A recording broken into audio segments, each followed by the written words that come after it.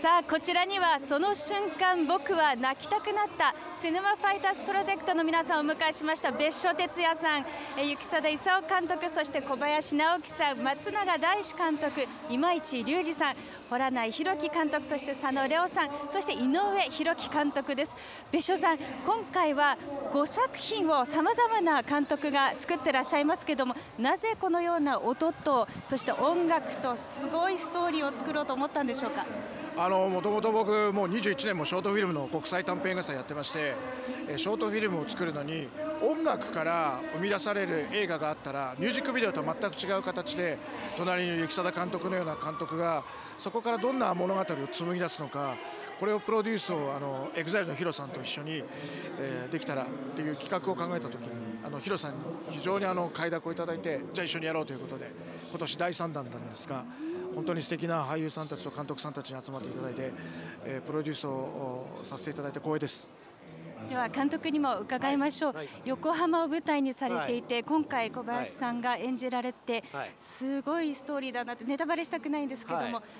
ぜひ一言メッセージ一番伝えたかったものは？そうですね。あの普段の僕があの長編で扱っていないようなあのキャラクターというかねあの彼はまあヤクザをやってるんですけど僕の映画でヤクザが出てくるとか娼婦が出てくるなかなかないんですよね。そういうものにあのショートフィルムだから余計そのフィールドが違うっていうことで果敢に挑戦できるっていう、まあ、そういうところもすごく魅力だしこの5作がきっと普段の撮ってる自分とはまた違う表現を監督たちがやってると思うし俳優たちもそれをなんかこうそれに応えてねなんか今までと違う何かを打ち出してるっていうそこが多分面白いところかなと思っております。はい、失礼します。それでは小林直樹さんにも伺いたいんですが、はい、その年の離れた方との何か心の通うものっていうのがすごく心をつかまれました。演じていていかがでしたか？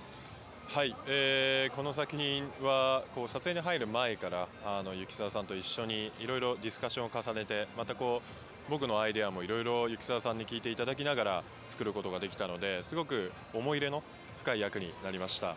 なのであのこうもちろんこう職業はそれぞれあの見ている皆さんも違うだとは思うんですけどもその中であの共感できるこう人と人とのやり取りが含まれている物語だと思うのでぜひ皆さんに見ていただきたいです。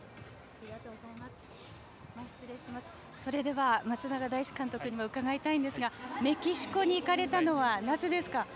そうですね。もともとその時に僕はちょっとアメリカに住んでるっていうのもあって、それでまあアメリカで撮りたいなと思ったのが最初のきっかけでしたね。それでまあ移民の問題がまあいろいろ日本でも報道されてますけど、やっぱり実際に見るとや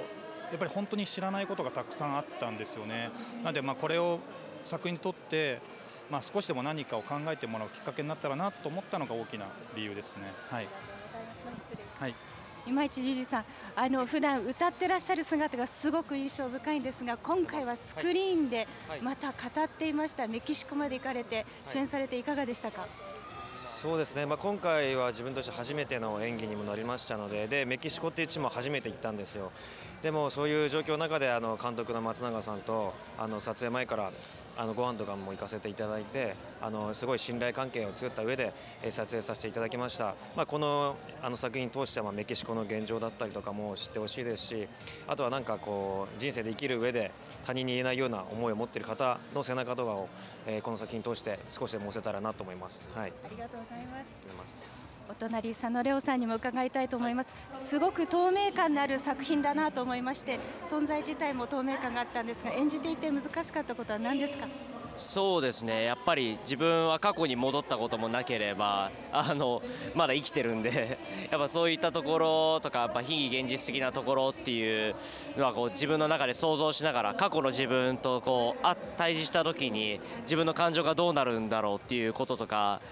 なんかこうファンタジックな世界観なんですけどもそういう新鮮なやっぱり自分の感じるものとかをすごく難しいながらも意識させていただきました。はいこれからもいろんな役楽しみにしています。さあそして原内監督にもあの演じていただいていかがでしたか？はい。もう僕が佐野君をイメージして佐野君がこういう姿でスクリーンに映ってたら堪能できるだろうなと思って書いてその通りにまあそれ以上にあの命を宿してくれました佐野君が、はい、最後まで本当に世代を超えて泣かせる作品でした。ありがとうございます、はい